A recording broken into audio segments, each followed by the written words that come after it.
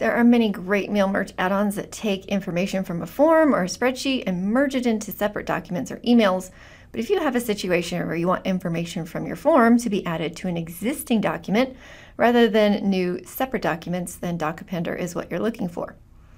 For example, I have a form that people can use to submit information for our daily announcements. I need the information from separate form submissions to be compiled into a document for each day instead of just creating separate documents for every submission that users make. And DocAppender will allow me to do that. This magical add-on saves me a bunch of time, makes form submissions so much easier to read than what's on a spreadsheet, but there is some critical setup involved.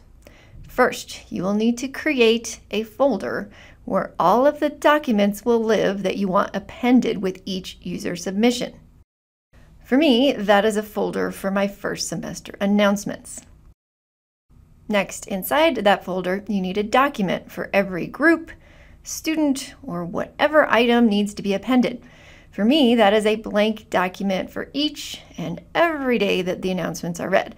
And that is a lot of documents.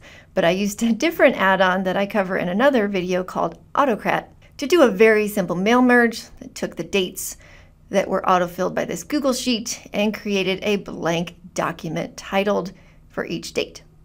You can do the same thing with Autocrat if you have a spreadsheet of student names or items, or you can just create documents manually inside this folder if you only need a small number. However you do it, you need a folder, and inside that folder, all of the documents contained in it that need to be appended or added to with each form submission. When those two steps are completed, it's time to build the form that will supply the information that is added to these documents.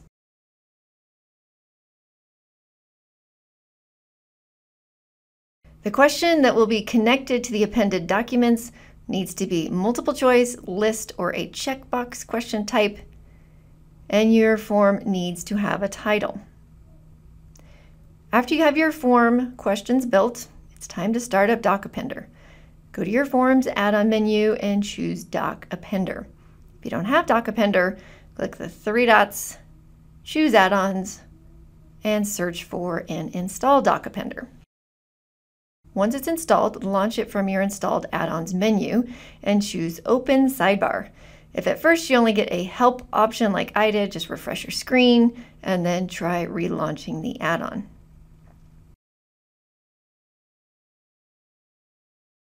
Step number one is to identify that target folder that houses all of the documents named for each team, student, or in my case, date, that will be appended with each form submission.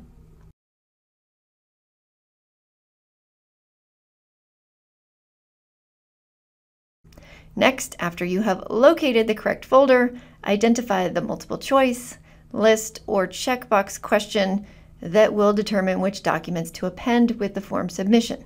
You may need to click Refresh List or occasionally refresh your page if you don't see the question in the drop-down list.